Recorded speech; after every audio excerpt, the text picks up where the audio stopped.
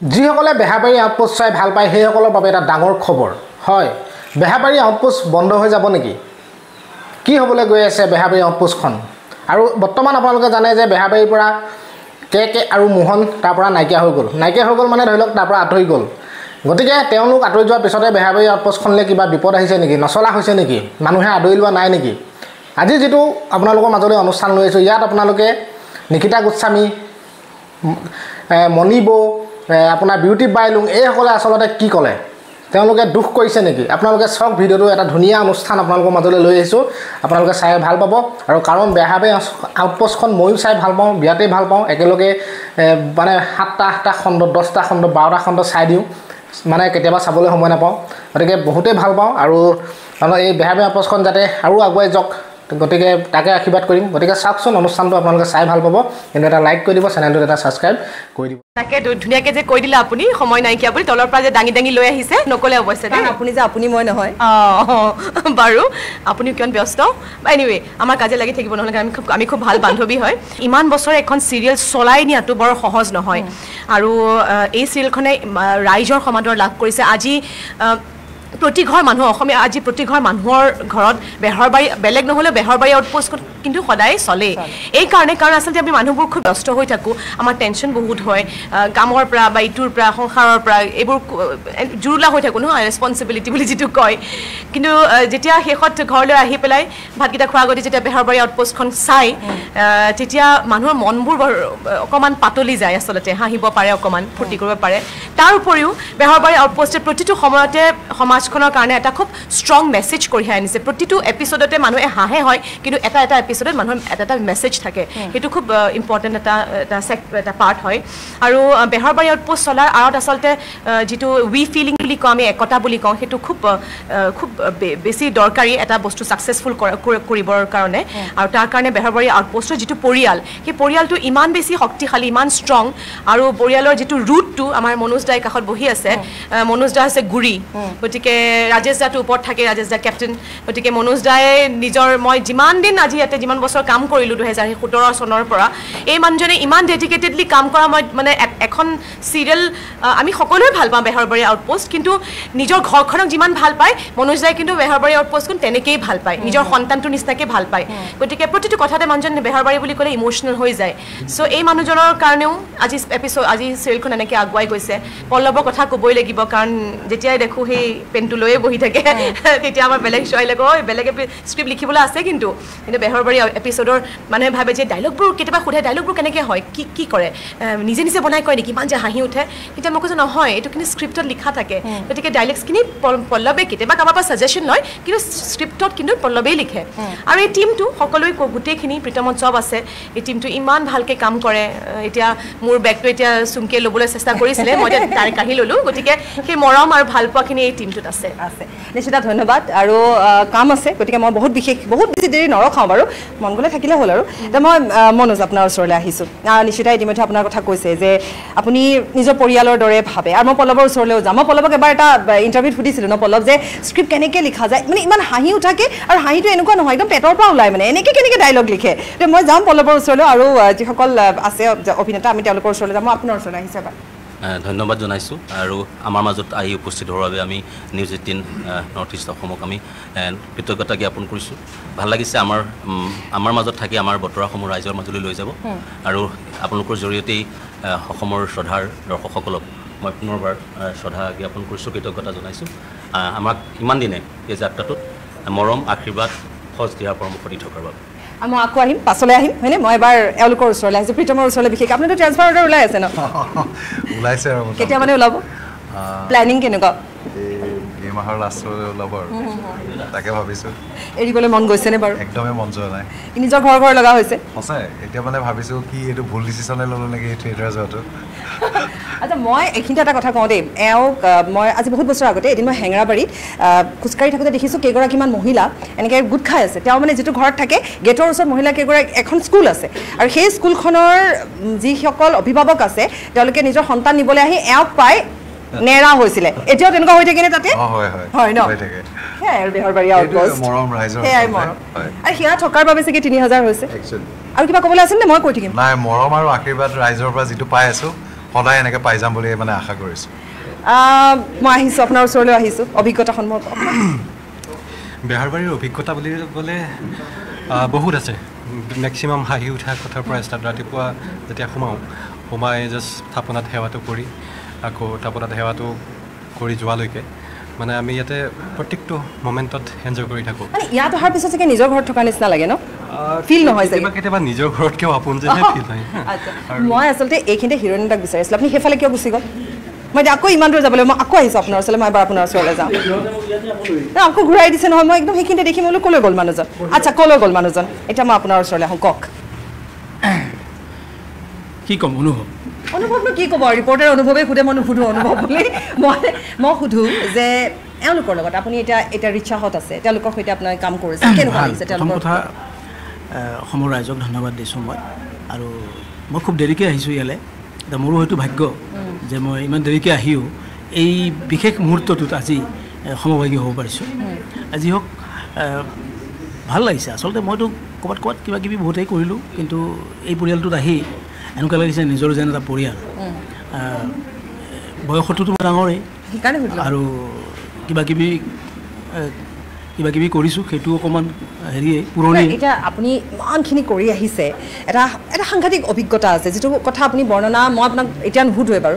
গতিকে সেই তেতিয়াৰ পৰা আহি যেতিয়া এই জেনেৰেশ্যনটো আপুনি লগ পাইছেহি এওঁলোকৰ মাজত বাৰু সেই আপুনি অকণমান এটা ডিফাৰেঞ্চ পাইছেনে? যিটো ধৰি লওক আমিও ভাবোঁ যে এওঁলোকে ইমান সুন্দৰ অভিনয় অভিনয় যেন নালাগেচোন এওঁলোকে যেতিয়া আমি যেতিয়া বেহৰবাৰী চাওঁ অভিনয় যেন নালাগে। চব যেন একদম স্বতঃস্ফূৰ্তভাৱে আহে। ডিফাৰেঞ্চ পাইছোঁ মানে ডিফাৰেঞ্চ বুলি মই নকওঁ অতি বেছি ডিফাৰেঞ্চ পাইছোঁ। ঘটনা হৈছে কি কিছুমান মানে ইয়াত অভিনেতা অভিনেত্ৰী যিবিলাক আছে কিছুমানটো মোৰ সন্তানৰ নিচিনা মোৰ ল'ৰা ছোৱালীৰ নিচিনা কিছুমান মোৰ ভাইৰ নিচিনা। আৰু চাবলৈ গ'লে বুঢ়াও মই আৰু মাজে মাজে মনত ভাৱ হয় যে মই অভিনেতা হৈ আহিছোঁ নে ইয়াত কিবা গাৰ্জেন হৈ আহিছোঁ অভিভাৱক হৈ আহিছোঁ এনেকুৱা ওলাই যি হওক এটা অতি মধুৰ সম্পৰ্ক চবৰে লগত আৰু চবেই ইমান মৰমেৰে সন্মানেৰে কাম কৰে ডাঙৰে সৰু সৰু ডাঙৰক। সেইটো সেইটো মানে জীৱনত পাহৰিব নোৱাৰোঁ। সেইটো এটা ভাল অভিজ্ঞতা। দ্বিতীয় কথা আমাৰ যিখিনি কলা কৌশলী কেমেৰা পাৰ্চন লগতে মোৰ ডাইৰেক্টৰ মনোজ সি এনেকুৱা এটা ডাইৰেক্টৰ। সি খুব ডাইৰেকশ্যন দিবলৈ যদি তাৰপৰা শিকিব লগাও আছে বহুত। সি ডাইৰেকশ্যন দি থাকোঁতে এনেকুৱা হয় যিটো কথা মই ভাবোঁ কি আজি গালি খাব হয়তো মই ভাবোঁ কিন্তু সি গালিটো ইমান মিঠাকৈ দিয়ে সেইটো কমেডি হৈ যায় আমাৰ কাৰণে। কিন্তু সিহে জানে কমেডি দিছেনে গালি। গালি দিছে ভালকৈ বুজি পায়। আৰু ভাই তাৰপিছত আহিলে ৰাইটাৰ আমাৰ পল্লৱ। পল্লৱটো এনেকুৱা এটা দেখিলোঁ তাক মই যে লিখিও আছে কথা পাতিও আছে ময়ো কথা পাতি আছোঁ। তো মোৰ কথাও কৈ আছে "উম, অঁ সেইটো নহয়? অঁ, অঁ, অঁ।" সি লিখি আছে কিন্তু? কেনেকৈ লিখে নাজানো। এঘাৰ বছৰ ধৰি লিখি আছে। আৰু মই যদিও ভাবোঁহে অভিভাৱক বুলি আচলতে মূল অভিভাৱক এজন আছে সেইজন হ'ল চবৰে ওপৰত ৰাজেশ নাম ল'বই লাগিব। যি হওক সকলোলৈকে মই আন্তৰিক শুভেচ্ছা জ্ঞাপন কৰিছোঁ আৰু অসমৰ ৰাইজলৈ পুনৰবাৰ মই শ্ৰদ্ধা জনাইছোঁ। লগতে তেখেতসকলৰ মৰম চেনেহ আৰু আশীৰ্বাদ বিচাৰিছোঁ যাতে বেহাৰবাৰী আকৌ আগলৈ গৈ থাকিব পাৰে। আমি বিচাৰিছোঁ। কাৰণ বেহাৰবাৰী এনেকুৱা এখন ধাৰাবাহিক যিখনে সঁচাকৈয়ে নিশ্চিতাই কোৱাৰ দৰে যে যেতিয়া আমি খুব এটা চাপত ঘৰত গৈ আমি যেতিয়া টিভিটো অন কৰোঁ যেতিয়া আমি বেহাৰবাৰী চাওঁ বুলি ভাবোঁ আমাৰ মনটো ভাল লাগি যায়। বেহাৰবাৰী দেখা বুলিয়ে নহয় ৰিলচবিলাকো যথেষ্ট জনপ্ৰিয়। গতিকে আহিছোঁ নিশ্চয় দৰ্শকে ভাল পাব। এবাৰ আমি খুব ধুনীয়া লাগিছে দেখিবলৈ সকলোকে। ইমান ধুনীয়া দেখিছে নহয় মানে সাজ পোছাকতে আৰম্ভ কৰি সঁচাকৈ এনেও ধুনীয়া আৰু ধুনীয়া। মই আপোনাৰ ওচৰলৈকে আহিছোঁ মইম্বৰ ওচৰলৈ নাহিলে প্ৰথমতে আপুনিয়ে গুৰি ধৰক তাৰপিছত বাকীবোৰৰ ওচৰলৈ যাম। আপুনিতো একদম আৰম্ভণিৰ পৰাই আছে। আৰু যিটো আপোনাৰ আচলতে চৰিত্ৰ সেই চৰিত্ৰটো এতিয়া মানুহৰ মুখে মুখে আপুনি তেনেধৰণেই আছেগৈ মহিম্ব হিচাপে আছে। অকণমান জানিম। প্ৰথমতে নিউজ এইটিন আছামৰ তৰফৰ পৰা সকলো অসমবাসীকে মোৰ ফালৰ পৰা ধন্যবাদ আৰু কৃতজ্ঞতা থাকিলে। আচলতে জাৰ্ণিটো ক'বলৈ গ'লে খুবেই সুন্দৰ আৰু দৰ্শক অবিহনে আমি আধৰুৱা। যিহেতু অসমবাসী ৰাইজে অকল অসমতেই নহয় আমাৰ চিৰিয়েলখন জানিব পৰা মতে বাহিৰতো চায়। সকলোৱে আমাৰ ইয়াত আহি ফটো উঠিবলৈ আহে আৰু আমাৰ লগত মেছেজ কৰে বা কথাও পাতে তেনেকৈ। গতিকে সকলোকে ধন্যবাদ জনাইছোঁ। আৰু যিটো মোৰ চৰিত্ৰ মনিব আচলতে সঁচা কথা ক'বলৈ গ'লে মই এতিয়া মোৰ নামটো পাপৰি। মই পাহৰি। গৈছোঁ। অহ মিলিছে। এতিয়া পাপৰি নামটো মোৰ পাহৰি থকাই হয় কাৰণ যেনিয়ে যাওঁ সকলোৱে মনিব বুলিয়ে মাতে। আজি তেনেকুৱা ইনচিডেণ্ট এটা হ'লে পাপৰি পাপৰি চিঞৰি আছে। মানে মই নাই মতা। তাৰপিছত যেতিয়া মনিব বুলি মাতিছে তেতিয়াহে মাতি দিলোঁ। কিন্তু মোকেই মাতি আছে পিছত গম পালোঁ। গতিকে তেনেকুৱা নিচিনা কথা খুব ভাল লাগে যেনিয়ে যাওঁ তেনিয়ে। আপুনি আৰু কেকে যেতিয়া ওলায় তেতিয়া এনেকুৱা লাগে যে সঁচাকৈ আপোনালোক দুজন স্বামী স্ত্ৰী। অকণো ক'তো খুঁত নৰয়। ইমান ধুনীয়াকৈ কথাবোৰ আগবঢ়াই নিব পাৰে। সেই কথাবোৰ আচলতে সেই স্ক্ৰিপ্টেডে নিজে নিজে ওলাই ওলাই গৈ থাকে ইম্প্ৰভাইজ হৈ গৈ থাকে। আচলতে সেইটো মই লাকি ফিল কৰোঁ মানে যেতিয়া কেকেদাৰ লগত মই চৰিত্ৰ কৰোঁ আচলতে ময়ো সেইখিনি সময়ত গম নাপাওঁ। মানে যেতিয়া আমি ইয়াতে সোমাওঁ সোমোৱাৰ লগে লগে আমি কেৰেক্টাৰতে আহি যাওঁ নেকি তাৰপিছত বাকীখিনি ওলাই গ'ল আৰু বাহিৰত যি চলি আছে সেইবোৰ পাহৰিলোঁ। ইয়াত যিটো সোমালোঁ ইয়াৰ আহি গ'ল। এতিয়া কেকেদাৰ লগত মোৰ যিবোৰ চিন হয় আচলতে সঁচাকৈ মোৰো মানে দুখৰ চিন এটা কৰিলে সেইখিনি সময়ত মোৰ সঁচাকৈ চকু পানী ওলায় কান্দা ওলায় আৰু মানে কিবা আমাৰ কেমেষ্ট্ৰিটো ইমান ধুনীয়াকৈ মিলাই দিছে এওঁলোকে আৰু মোৰ নিজে কৰি ভাল লাগে মানে যিখিনিয়ে কৰোঁ আমি খুব ধুনীয়াকৈ সজাই পৰাই কৰিবলৈ চেষ্টা কৰোঁ যাতে ৰাইজে আমাক মানে চাই ভাল পায়। ভাল পায় আপোনালোকে? শ্বাহৰুখ খান কাজলৰ নিচিনা দিয়কচোন কথাটো। বিহাৰটো তেনেকুৱাই লাগে। মই আহিছোঁ আহ, বেহাৰবাৰীৰ অভিজ্ঞতা মই তোমাৰ ওচৰলৈকে আহিছোঁ যে এখন যেতিয়া দীঘলীয়া এখন ধাৰাবাহিক হয় নাই গতিকে তাত এটা অংশীদাৰ হ'বলৈ পাই কেনেকুৱা লাগিছে? আচলতে শব্দত প্ৰকাশ কৰিব নোৱাৰা এটা অনুভৱ আৰু মই সদায় কৈ থাকোঁ ইয়াত বেহাৰবাৰী আউটপোষ্ট এটা আচলতে আৱেগ হয় অকল অসমৰে নহয় গোটেই ভাৰতবৰ্ষৰ আৱেগ। আৰু মই যেতিয়া ফাৰ্ষ্ট ষ্টাৰ্ট হৈছিলে তেতিয়া মই ক্লাছ এইটত আছিলোঁ। চবেই জানে চবক কৈ থাকোঁ। তেতিয়া মানে সৰু আছিলোঁতো কিন্তু তেতিয়া মই ভবা নাছিলোঁ যে আফটাৰ টেন ইয়াৰ্ছ এইখন ধাৰাবাহিকৰে মই এটা অংশীদাৰ হ'ব হ'ম। আৰু ইয়াৰ কাৰণে অলৱেজ থেংকফুল মনোজ খুৰা ৰাজেশ দা পল্লৱ দা শাহিন বা মোক এই সুবিধাকণ দিয়াৰ বাবে। আৰু যেনেকৈ মণিবই ক'লে যে পল্লৱ দাই লিখি দিয়ে আমাৰ ৰিয়েলিটিত যিবোৰ ঘটনা ঘটি থাকে মই যে- যিহেতু ৰিয়েল লাইফত অলপমান কনজিউজ পল্লৱ দাই সেইটো স্ক্ৰিপ্টতো লিখিছে। মোক এতিয়া মই ৰিচেণ্টলি যোৰহাটত গৈছোঁ তেতিয়া মানুহে কৈছিল তোমাৰ কিন্তু কনজুজ চৰিত্ৰটোহে ভাল লাগে? মোক এনেকৈ কৈছে। কৈছোঁ কনজুজ অঁ তুমি জবা বাইদেউ আপুনি বৰ কনজুজ নহয় জানো? তেতিয়া আকৌ ছেটৰ মানে তাই কিন্তু ৰিয়েল লাইফতো কনজুজ দেই। তেনেকৈ পল্লৱ দাই কনজুজটো পূৰা বহুত ফেমাছ কৰি দিলে। মানে আমি ৰিয়েল। লাইফত যিগৰাকী হয় সেইগৰাকী বেহাৰবাৰী আউটপোষ্টত হয়। ইয়াত কোনো। মানে আমি এটা একচুৱেলি চৰিত্ৰ কৰি থকা নাই। যিগৰাকী আমি হয় সেইগৰাকীয়ে বেহাৰবাৰী আউটপোষ্টত সঁচাকে হয়। নাই, ভাল লাগিছে। আপোনালোকে এনেদৰে আশীৰ্বাদ কৰি থাকিব মৰম দি থাকিব। দৰ্শকে মৰম দিছে বাবে আজি ইমানখিনি গৈছে হয়নে? আমিও আহিছোঁ। আৰু সঁচাকৈ ভালো লাগিছে মই আহিছোঁ ওচৰলৈ। এই অনুভৱখিনিয়ে আচলতে আজি তিনি হাজাৰ এপিছড কমপ্লিট কৰাটো বহুত ডাঙৰ কথা বহুতেই ডাঙৰ কথা। পল্লৱৰ কথা সকলোৱে কৈছে। পল্লৱী দি আৰম্ভ নকৰোঁ দেই নিজৰ মতে আৰম্ভ কৰোঁ। পল্লৱদাৰ কথা আচলতে ক'ব লাগিব। পল্লৱদাৰ কথা ক'বই লাগিব। পল্লৱদা মনোজ দা ৰাজেশ দা। তেওঁলোকৰ অবিহনে আচলতে বেহাৰবাৰী আউটপোষ্ট একোৱেই নহয়। তাৰ লগত আৰু বহুত আছে পুৰণি আমাৰ বহুত শিল্পী আছে যেনে মণি আছে ৰাকেশ আছে আমাৰ কেকেদা মোহনৰ কথা নকওঁৱে বা তেওঁলোক সকলোৰে বাবেই আচলতে প্ৰথমতে তেওঁলোকে গুৰি নধৰা হ'লে আমি ইমানখিনি আগবাঢ়ি আহিব নোৱাৰিলোহেঁতেন। তেওঁলোককো এই চেগতে ধন্যবাদ জ্ঞাপন কৰিছোঁ কৃতজ্ঞতা জ্ঞাপন কৰিছোঁ। আৰু পল্লৱ দা মনোজ দাক ধন্যবাদ জ্ঞাপন কৰিছোঁ ৰাজদাকো ধন্যবাদ জ্ঞাপন কৰিছোঁ। মোৰ কৈছো মানে ধন্যবাদ জ্ঞাপন কৰি কৃতজ্ঞতা জ্ঞাপন কৰি শেষেই নহয় আচলতে। তাৰমানে আমাৰ। হয় হয় তিনি হাজাৰমান হ'ব তাৰমানে আমাৰ এটা এটা চৰিত্ৰ মোৰ যেনে তৰামাই তৰামাই চৰিত্ৰটো যেনেদৰে সজাই পৰাই তেওঁলোকে কৰিবলৈ দিছে মানে সেই চৰিত্ৰটো মানুহৰ মুখে মুখে। আৰু প্ৰত্যেকৰে চৰিত্ৰ মানুহৰ মুখে মুখে। আজি প্ৰত্যেকটো চৰিত্ৰই মানুহে চিনি পায়। আৰু সেইমতে মানুহে তোমালোককো চাগে তেনে মই তুমি বুলিয়ে কৈছোঁ আৰু তেনে তেনেধৰণে কথা পাতে তেনেধৰণে পাব বিচাৰে। নিজৰ যেনেধৰণে কেৰেক্টাৰটোত কথা পতা যায় তেনেকৈ মই সুধিম। কেনেকুৱা লাগিছে এতিয়া আজিৰ দিনটোত? মোৰ কেৰেক্টাৰটোত। আমার খুব ভালো লাগছে। অত দিন আমি আইসি না তার বাদে আইস আইসি আসানো খাইছি আইস বহুত দিন বাদে খুব ভালো লাগছে। তোমার ভালো লাগছে নি? ভালো লাগছে। এতিয়া পল্লৱক ধন্যবাদটো। অঁ সেইটোতো আৰু থাকিবই। কাৰণ সুস্মিতা কেৰেক্টাৰটো মানে জন্ম দিয়া মানুহজন প্ৰথম ৰাজেশ দা। ৰাজেশ দাই দিলে পল্লৱ দাৰ হাতত। আৰু পল্লৱ দাই মানে মেইন কিন্তু মই ভাবোঁ পল্লৱ দাই ইমান ধুনীয়াকৈ মানে মই ভবা নাছিলোঁ যে সুস্মিতাৰ নিচিনা এটা কেৰেক্টাৰ হ'ব পাৰে আৰু সেই কেৰেক্টাৰটো যে মই কৰিব পাৰিম সেইটো মই স্ক্ৰিপ্ট পঢ়ি নিজে হাঁহোঁ। আৰু সেইখিনি বস্তু ডাইৰেকশ্যন মনোজ দাৰ। মনোজ দাৰ এটা বস্তু ভাল লাগে মানে বেছি ডাইৰেকশ্যন নিদিয়ে। আমাৰ মতে এৰি দিছিল। তাৰ মাজত যদি এইটো এনেকৈ কৰিলে বেছি ভাল হ'ব নেকি সেইখিনিহে কয়। তো সেই বস্তু গোটেইখিনি মিলি এটা কেৰেক্টাৰ এষ্টাব্লিছ হৈছে ভাল হৈছে। মই এৰি থৈ যোৱাৰ নিচিনা হৈছে ন? মই ইমান চুকত বহিছে মানে মই ধৰিবই পৰা নাই কেমেৰাত। মই নতুনকৈ আহিছোঁ। আহ, কিন্তু আচলতে বেহৰবাৰীয়ে মই বিভিন্ন চৰিত্ৰ কৰিছোঁ।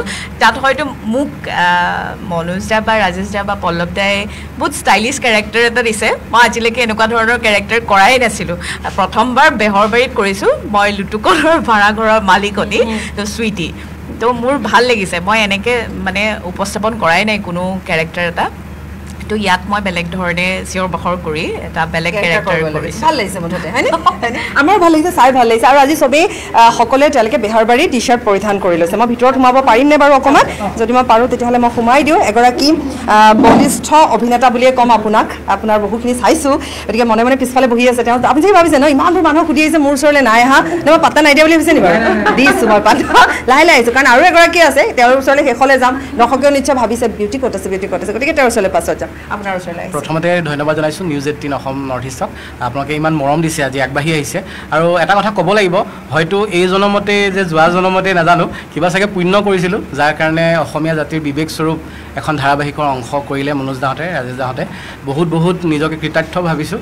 আৰু সেই সময়লৈকে এইটো এটা মাইলষ্ট'ন গতিকে বেহাৰবাৰী অসমীয়া দৰ্শকে মৰম দিছে মৰম দি যাব। আৰু ইয়াৰ এটা অংশ হ'বলৈ পাই মই আজি বহুত সুখী। ধন্যবাদ। আচলতে বেহাৰবাৰীৰ লগত মই বহুত আগৰ পৰাই জড়িত। মোক বিশেষকৈ অতিথি হিচাপে আমন্ত্ৰণ কৰে গতিকে আহোঁ। আৰু মোৰ সকলোৱে ভ- আহ, ভাইটিসম আৰু ময়ে চাগে আজি গ্ৰুপটোত ময়ে ডাঙৰ যে নহওক। আৰু খুব ভাল লাগিছে। পল্লৱে যোৱাকালি মোক মাতিলে আহিলোঁ। আৰু মোৰ বিশেষকৈ মনোজৰ ডাইৰেক্ট ডাইৰেকশ্যনত ইমান ধুনীয়াকৈ কামখিনি কৰোঁ। আচলতে ময়ো শিকিবলৈহে অহা নিচিনা হৈছে। যদিও আগৰ পৰা অভিনয় কৰিছোঁ হ'লেও মই বেহাৰবাৰীৰ পৰা যিমানখিনি শিকিছোঁ আচলতে মোৰ কাৰণে সঁচাকৈ ভাল লাগিছে। আৰু এইখিনি শিকোৱাৰ কাৰণে বিশেষভাৱে মই পল্লৱ আৰু মনোজক ধন্যবাদ জনাইছোঁ। মই আকৌ আহিছোঁ এইবাৰ। মেডাম আপোনাৰ ওচৰলৈ। যিয়ে নহওক বাৰু বেহাৰবাৰী আউটপোষ্ট বুলি কোৱাৰ লগে লগে উঠক। কোৱাৰ লগে লগে সকলোৰে চকু থাকে। আৰু চকু থাকিব লগা মানুহে হয় নাই? মানে চকু পৰি যায়। চকু পৰি যায় নাচাওঁ বুলি ভাবিলেও ওচৰে চকু পৰি যায়। আচ্ছা একদম নিজৰ কেৰেক্টাৰত কিবা এটা। কেৰেক্টাৰত এতিয়া কি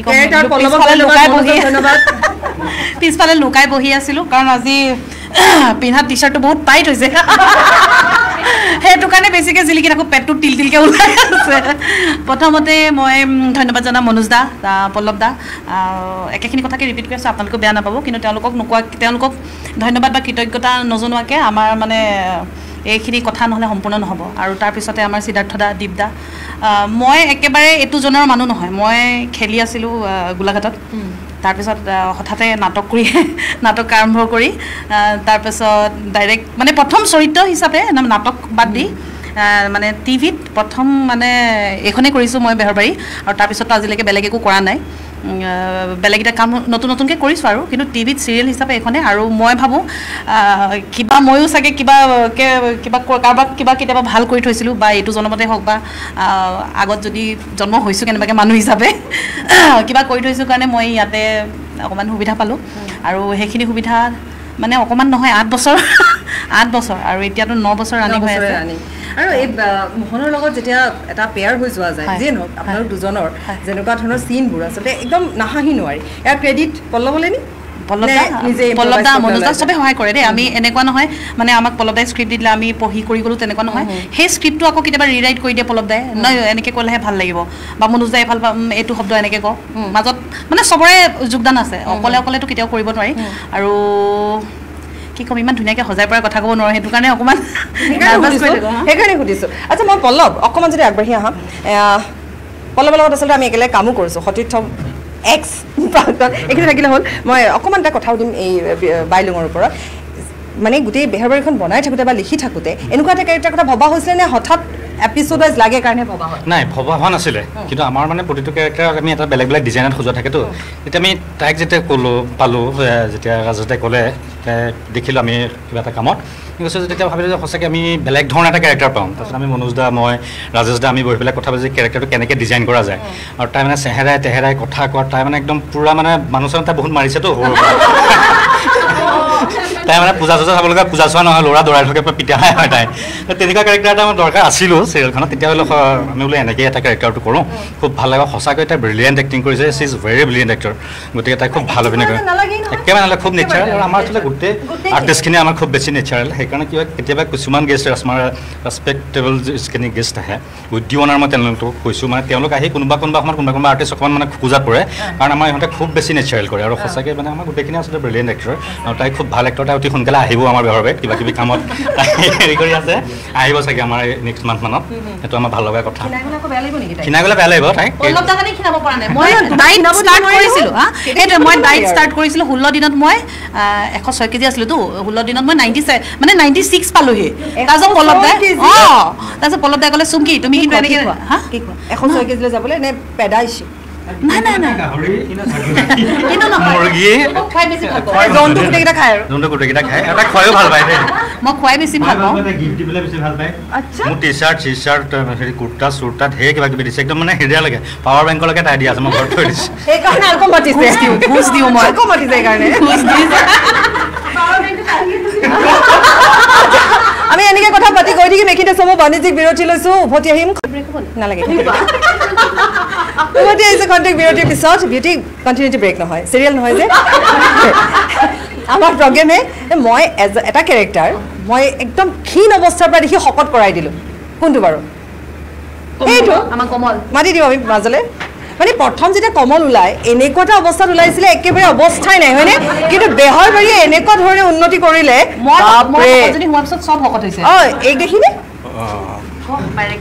মোৰ একচুৱেলি কথা মোৰ বহুত ভয় লাগে মই নাৰ্ভাছ হৈ গৈছোঁ। সেইকাৰণে মই পিছত পঢ়ি আছোঁ।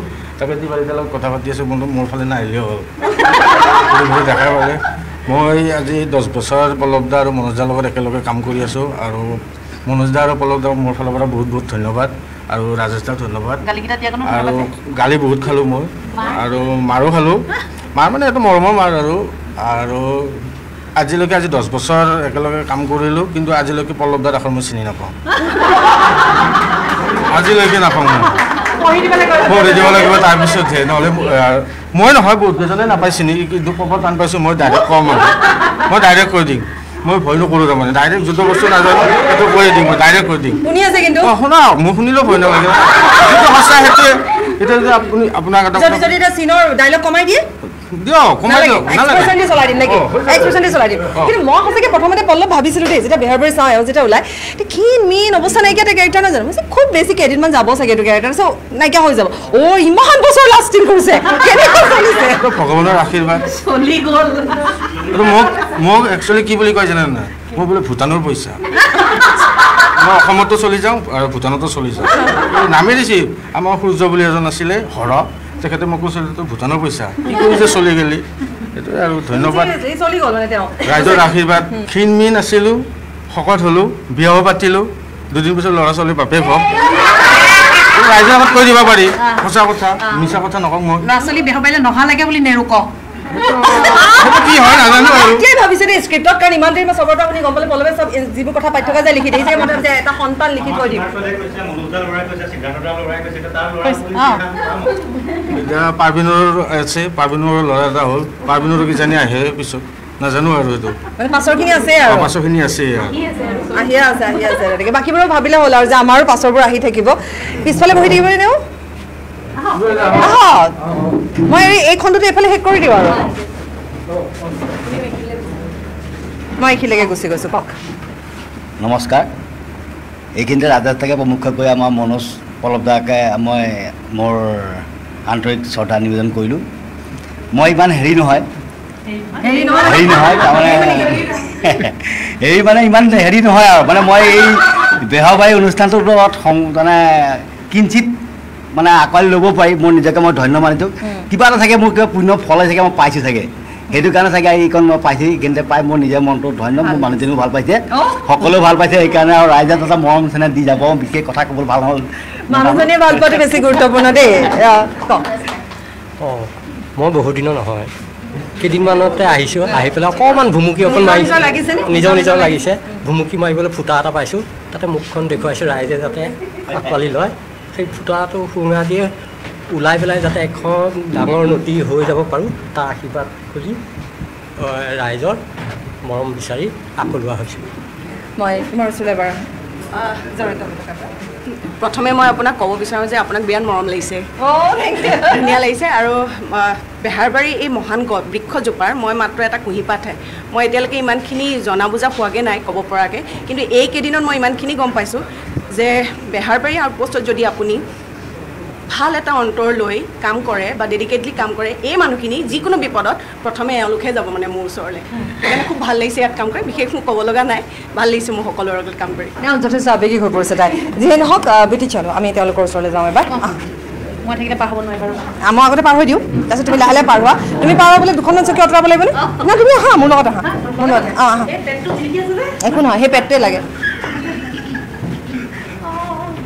অঁ মানে অঁ মানে এওঁলোকক ধুবলৈ মাতিছোঁ মই এনেই নাই মাতা। দে বাবু ক। এওঁতো ট্ৰেন্সফাৰে ল'ব এতিয়া। ক কিবা এটা। ক'বই নাই মই যদি সুধোতে নাই এওঁক আকৌ আধৰুৱা কৰি মই হিৰণ্য দাৰ ওচৰলৈ গুচি গ'লো মনত চাগে অকণমান দুখো লাগিছে আধৰুৱা হৈ আছে গোটেই নাই নাই দুখ সেইটো লগা কেনেকুৱা। বাৰু? কেনেকুৱা? মোৰটোতো ভালেই লাগিছিলে। হয় যে প্ৰথমতে মই থিয় হৈ কৈছোঁ বাৰু যে এই শুভক্ষণত অসমৰ প্ৰত্যেকজন দৰ্শকলৈকে মোৰ শ্ৰদ্ধা নিবেদিছোঁ। আৰু আপোনালোক ইয়াতে অকণমান টাইম দিব আহিছে।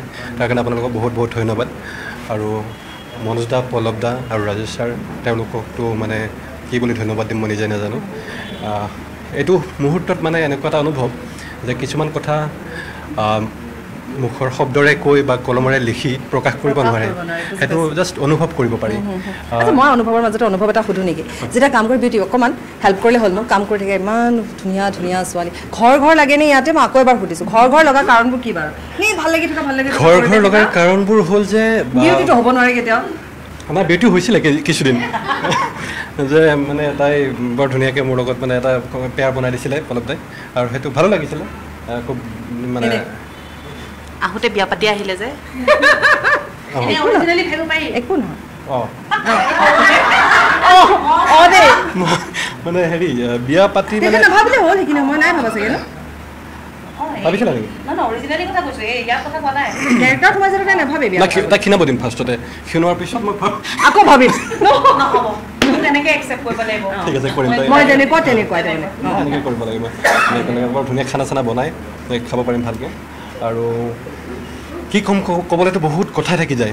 কিন্তু কথাটো হ'ল কি যে ইয়াতে যদি আপুনি শ্বুটিঙৰ টাইমত এদিন কেতিয়াবা আহে আপুনি গম পাই যাব যে মানে ওলাই যাবলৈ মন নাযাব। প্ৰত্যেকটো মুহূৰ্তত মানে ফিজিকেলিৰেই মানে পাৰ হৈ যায়, পাৰ আচলতে তেনেধৰণে স্ক্ৰিপ্টটো হৈছে তেনেধৰণে মানুহো পোৱা গৈছে। সেইকাৰণে চাগে খুব ধুনীয়াকৈ পাৰ হৈ যায়। মই আহিছোঁ আকৌ।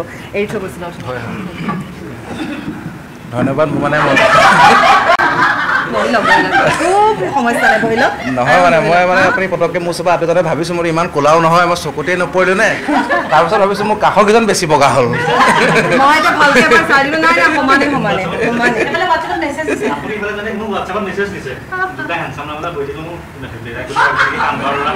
নহয় ভুলটো এইখিনিতে হৈছে যে যিমানেই হেণ্ডচাম নহওক কিয় জ্যেষ্ঠ জ্যেষ্ঠ সদায়। সেইকাৰণে সেইফালে গ'লোগৈ। গম পাইছোঁ গম পাইছোঁ ধেমালিহে কৰিছোঁ। আপোনালোকে আজি আমাৰ এই অনুষ্ঠানটো সমগ্ৰ অসমবাসীক দেখুওৱাৰ বাবে অশেষ কৃতজ্ঞতা জ্ঞাপন কৰিছোঁ। লগতে আজি এই বেহাৰবাৰী আউটপোষ্টে যে তিনি হাজাৰ খণ্ড অতিক্ৰম কৰিছে এয়া কেৱল হৈছে ৰাইজৰ মৰম আৰু আশীৰ্বাদৰ বাবে। লগতে ধন্যবাদ জনাইছোঁ ৰাজেশ ছাৰ মনোজ দা পল্লৱ দা মোৰ ছিনিয়ৰসকল বা মোৰ সহ অভিনেতা অভিনেত্ৰীসকল। সেইখিনি আপোনাৰ নাৰ্ভাছ হৈ গৈছোঁ। য'ত বিউটি সন্মুখত থিয় হৈ আছে মই সেইকাৰণে লৈ আহিছোঁ যাতে এওঁলোক নাৰ্ভাছ নহওক। কিন্তু লাভ একো নহ'লে। ইমান নাৰ্ভাছ হৈছে কিয় বিউটি তেনেকুৱাই নেকি?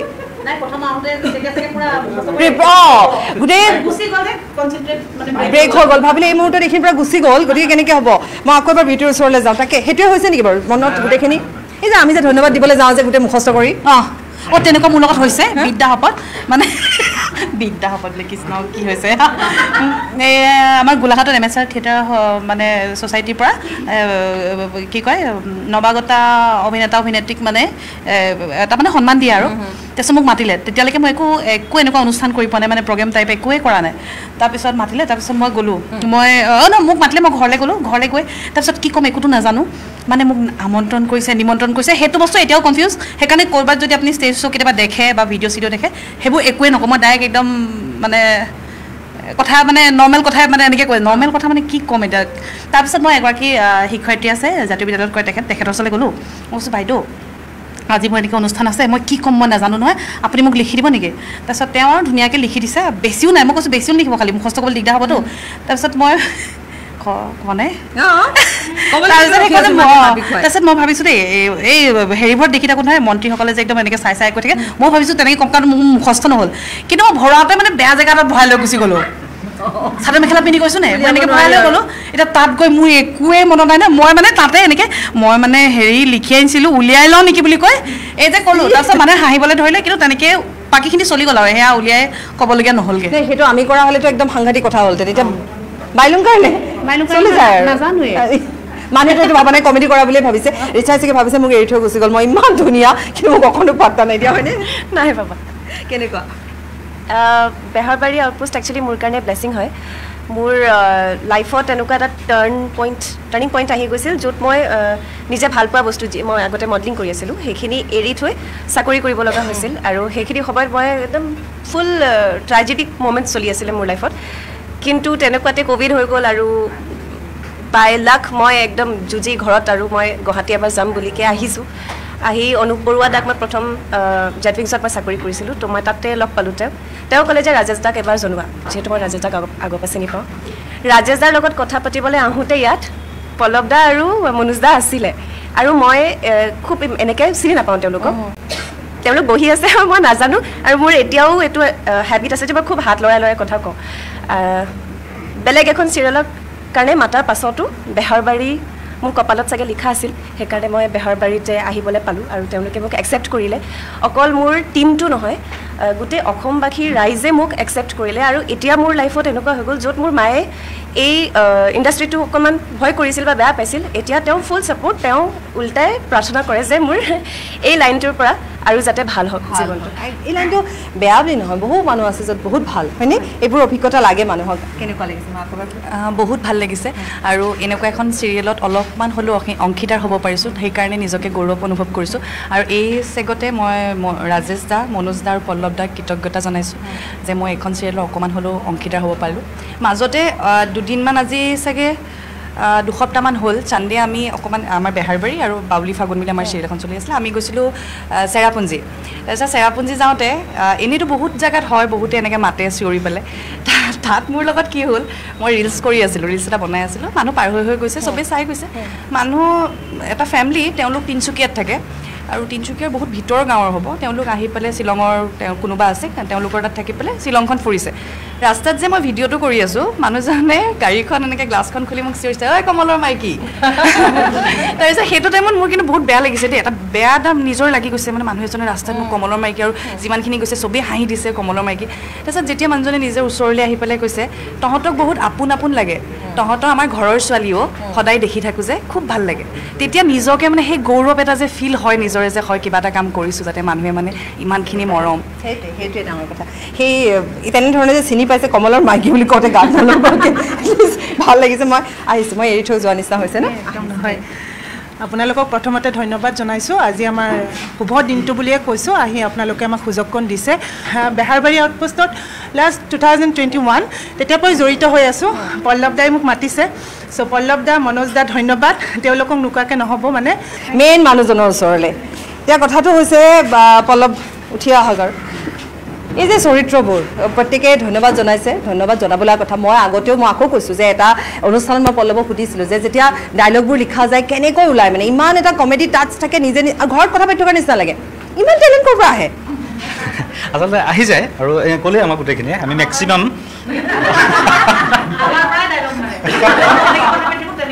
সঁচা কথা আচলতে মই নিজে একো নাই সিহঁতে যিখিনি কথা পাতি থাকে যিখিনি সিহঁতৰ হৈ যায় সেইখিনি মই ধুনীয়াকৈ এটা মানে মালা গাঁঠি দিওঁ। মন নাযায় পল্লৱ ওচৰলৈ আহিলে দূৰলৈ যাওঁ নিচিনা? একদম পলতান থকাত হৈ থাকে মানে ইটো চিনৰ পিছত ইটো চিনত নিজকে দেখা পায় কাৰণে সি যেতিয়া চিন লিখে যো- যাক বেছি লিখিব কেৰেক্টাৰটো সেইটো চিনে লিখি থাকিব এই আমি ওচৰলৈ লুকাই ভয় লাগে নে? ফুৰো লুকাই ফুৰো সেইকাৰণে।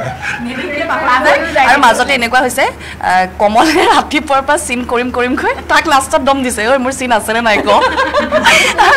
তত মানে? চিন আহিব আকৌ ভুমুকি মাৰি আছো দেই মই আছো। আছো মনত পেলাই থৈ যাওঁ।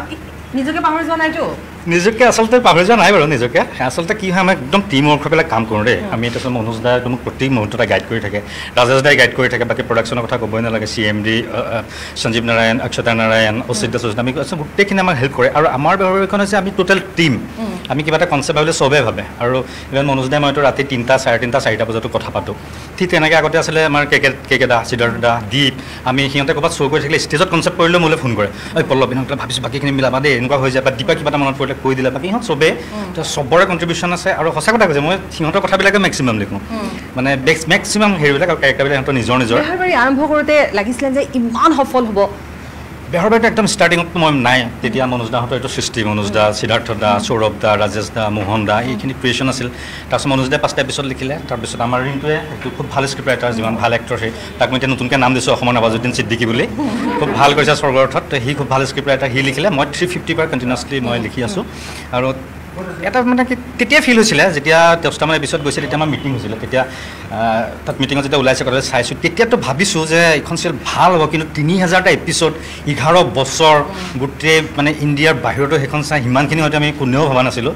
আৰু সেইকাৰণে মই যেতিয়া ওৱান থাউজেণ্ড এপিছডটো আজি চাহিনবাৰ লগত পাতোতে কৈছোঁ যে ওৱান থাউজেণ্ড এপিছডত আমি খুব ইম'চনেল হৈ গৈছিলোঁ।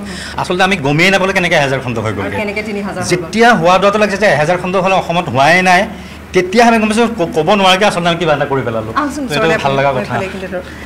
মই দুজনে সেৱা কৰি দিছোঁ যি মন যায় এতিয়া কৰিব পৰা যায়। মাতি আনি মই মাতি আনিছোঁ এইখিনিলে বাৰু।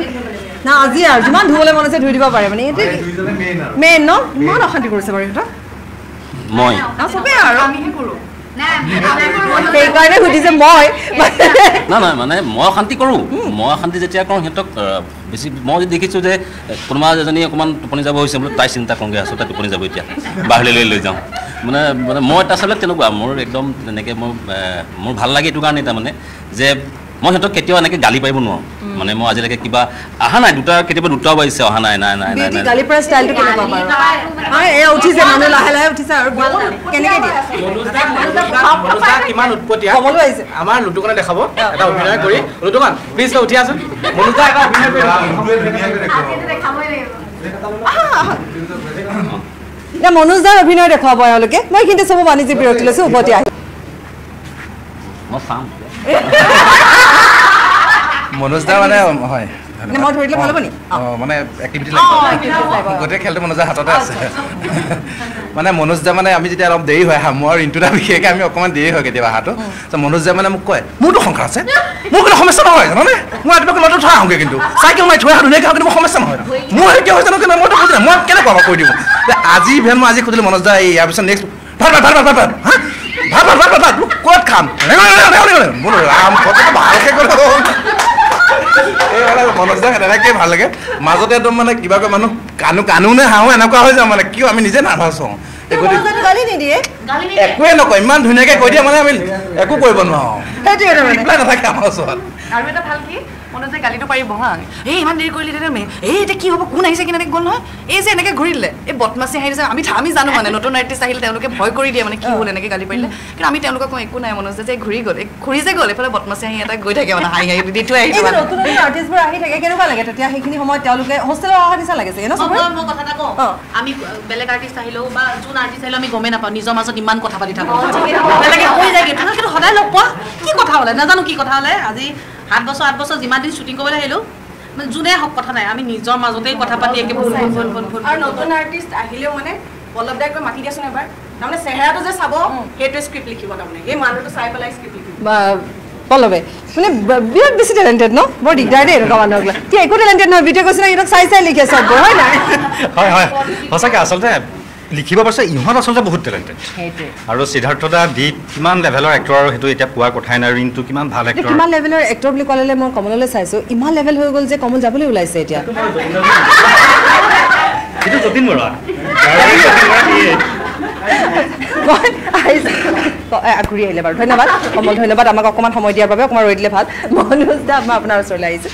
আচ্ছা যেতিয়া বেহৰবাৰী আউটপোষ্ট ষ্টাৰ্ট হৈছিলে এতিয়া কথা হৈছে আমি সাধাৰণতে টিভিত যেতিয়া আমি এনেকুৱা হাস্য ৰস থকা ধাৰাবাহিক চাওঁ অকণমান ক'ৰবাত কেতিয়াবা আমাৰ এনেকুৱা লাগে যে ক'ৰবাত যেন অকণমান অভাৰ এক্টিং কৰা নিচিনা হৈছে বা এনেকুৱা ধৰণৰ বস্তুবোৰ অকণমান আমি চালে ভালকৈ।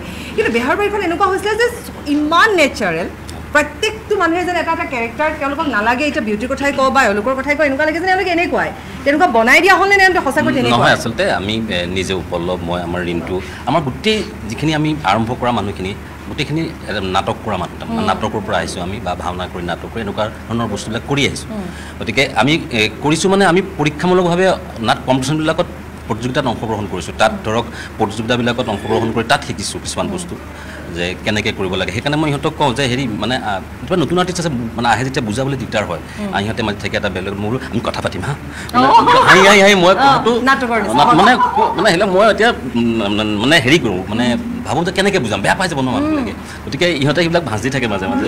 ভৰি মানে ভৰি মৰা কিমান আমাৰ ৰিণ্টুৱে দেখুৱাই ন সেইবিলাক ভাজ বৃষ্টিয়ে অঁ। মানে সেয়া সিহঁতি কৈ থাকে মানে আৰু মোৰ ভাল লাগে এটা কথাৰ কাৰণে যে কোনেও তেনেকৈ কিবা কোৱাৰ পিছতো ওলোটাকৈ নকয় কোনোৱে আৰু আমি আচলতে খুব লাকি এটা কথা মোক ক'ব লাগিব মানে আমি খুব লাকি আমাৰ এই বেহাৰবাৰী আউটপোষ্ট আমি টীমটো যে যিসময়ত পৃথিৱী স্তব্ধ হৈ গৈছিলে ক'ভিড মহামাৰীয়ে গোটেই মানুহ আমাৰ নিজৰ টীমটোৰ মাজতো যেতিয়া ক'ভিড হৈ গ'ল তেতিয়া আমি কোৱাৰেণ্টাইন হৈ পেলাই আমি এপিছ'ডকেইটা ইয়াত তৈয়াৰ কৰিলোঁ। একেলগে আমি কোৱাৰেণ্টাইন হৈ পেলাই কৰিলোঁ। তো আমি ইয়াতে কোৱাৰেণ্টাইন হৈ পেলাই আমি ইয়াতে শ্বুটিং কৰি পেলাই আমি অফিচ শ্বাটডাউন দি দিলে। মাত্ৰ দলৰ ৰান্ধনি দুজন ৰাখি দিছে আৰু তেনেকৈ কাম কৰি আমি এপিছ'ডটো আমি কণ্টিনিউ কৰিলোঁ। যেতিয়া লকডাউনৰ সময় হৈছিলে। সেই লকডাউনৰ ভিতৰত ঘৰে ঘৰে গুচি গ'লোঁ। কাম পৃথিৱীৰ চব কাম বন্ধ হৈ গ'ল। আৰু সেই সময়খিনিতো কিন্তু আমি ঘৰে ঘৰে ঘৰত থকা নিজৰ ৱাইফকো এক্টিং কৰাইছোঁ ল'ৰাটোকো এক্টিং কৰাইছোঁ তেনেকৈ চবেই প্ৰত্যেকে কৰি কৰি কৰি কৰি এপিছ'ডটো ৰেডি কৰিছোঁ। আৰু সেই সময়ত আৰু সেইকাৰণে সেই সেই সময়কণত অকল আমি কাম কৰি আছিলোঁ বা আমাক সেইমতে কিন্তু মানে আমাৰ প্ৰাগ নিউজৰ মানে চি এম ডিয়ে হওক বা তেওঁলোকে কিন্তু আমাক আৰ্থিকভাৱে মানে আমি পইচা পাইছিলোঁ সহায় কৰিছিলোঁ। সেই বেয়া সময়কণৰ কাৰণে মানে তেখেতসকলক আমি কৃতজ্ঞতা আমি তেখেতসকলৰ প্ৰতি যে আমাৰ সেই বেয়া দিনখিনিতো আমি কাম কৰিবলৈ আমাক সুযোগ দিছিল সাহস দিছিল। সঁচাকৈ আচলতে সেই সময়খিনি বৰ ভয় লগা সময় এটা আছিলে। কিন্তু তাৰ মাজতো আমি বেহৰবাৰী চাই হাঁহিব পাৰিছিলোঁ সেইটোৱে ডাঙৰ কথা। মই ইমান কথাখিনি কোৱাৰ পিছত মই ৰিণ্টুক মাতিবই লাগিব এতিয়া যিয়ে নহওক আৰু। অকণমান উঠি দিলে একেবাৰে তিনিজন দিগ্গজ ব্যক্তি ওচৰতে আছে যেতিয়া ন বিউটি ওচৰ চপাই লৈছোঁ এবাৰ। মই কিবা ক'ব লগা আছেনে? এওঁলোকক আচ্ছা এটা এটা এনেকুৱা এটা সৰু চাই আমি চিনিয়ে কৰিব নোৱাৰোঁ নেকি যে তেওঁতো যাবলৈ ওলাইছে এতিয়া ট্ৰেন্সফাৰ অৰ্ডাৰে ওলাব পেলাই যাবলৈও বোলে মন নাই। ইনষ্টেণ্ট আচ্ছা ময়ে কৈ দিছোঁ তেতিয়াহ'লে। আচ্ছা তেওঁ যাবলৈ ওলাইছে অকণমান দুখ লাগিছে। আৰু বিউটিয়ে কিবা এটা তেওঁ ক'ব বিচাৰিব তেওঁ কিয় যাবলৈ ওলাইছে? প্ৰীতম।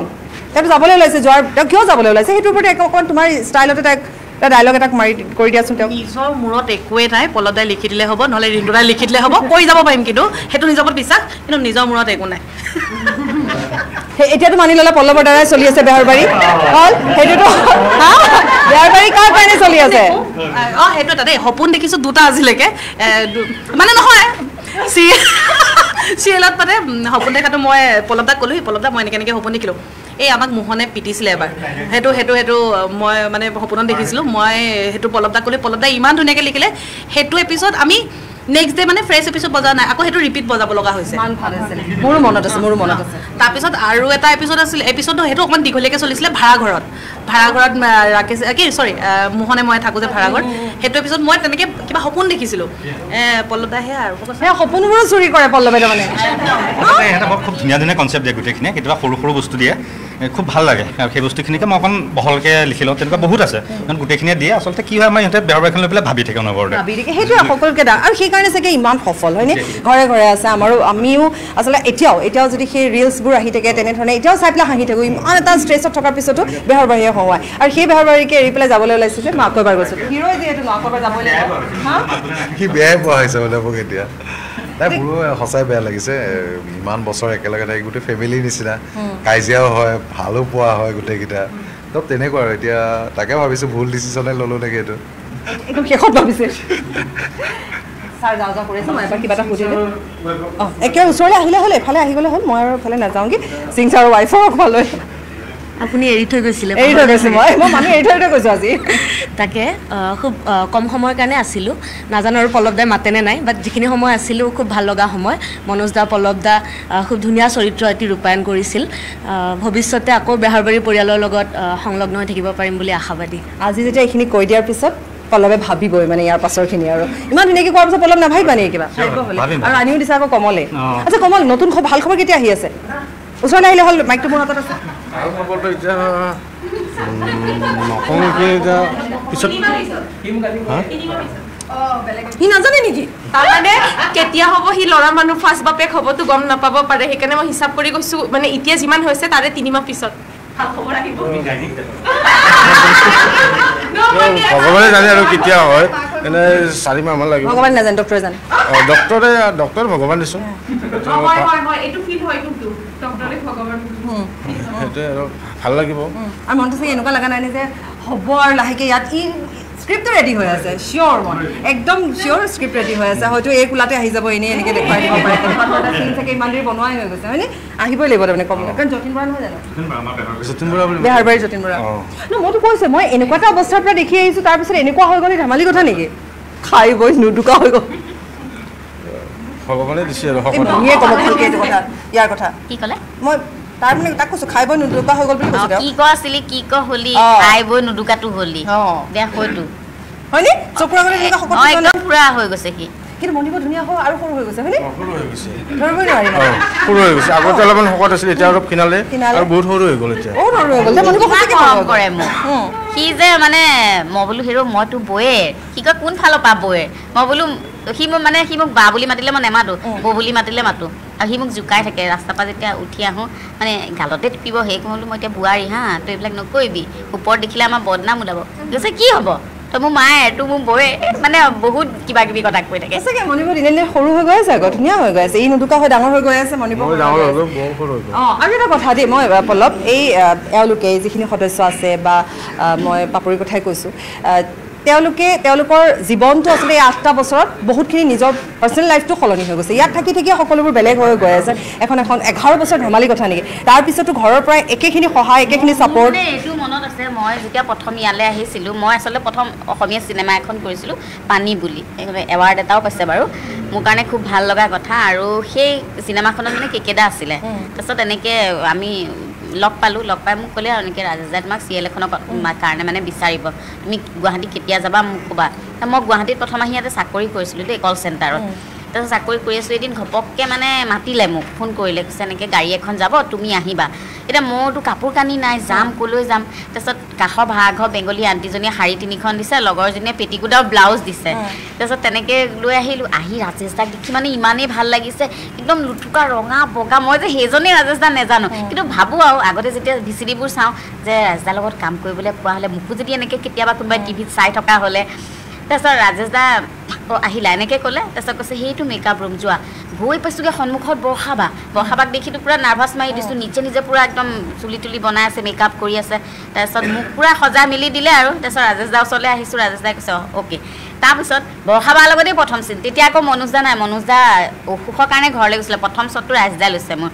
তাৰপিছত বৰষাবাৰ লগত বুলেটত উঠিব লাগে মই তেতিয়া ভাবিছোঁ মাইকী ছোৱালী মানুহে মানে বুলেট চলাবও জানে। তেতিয়া মানে এইবোৰ একোৱেই নাজানো আৰু। তাৰপিছত ভয়ো লাগিছে। বায়ে কৈছে উঠা। মই মানে ভয়তে ৰখি আছোঁ। কৈছে একো নহয় উঠা। উঠি পেলাই বৰষা বা পেটটোতে খামুচ মাৰি ধৰিছোঁ কিজানি পৰি যাওঁ। আৰু বুলেটখনতো ৱেট আছে। তাৰপিছত আধা কিলোমিটাৰ মানে মোক চলাই নিছে। বায়ে কৈ আছে একো নহয় ভয় কৰিব নালাগে। তুমি খালি মোক ভালকৈ ধৰি লোৱা। সেই কথাটো মানে আজিও মনত পৰে আৰু। মানে সেইবোৰ অভিজ্ঞতা সৰু সৰু মানে খুব মানে স্মৰণীয়।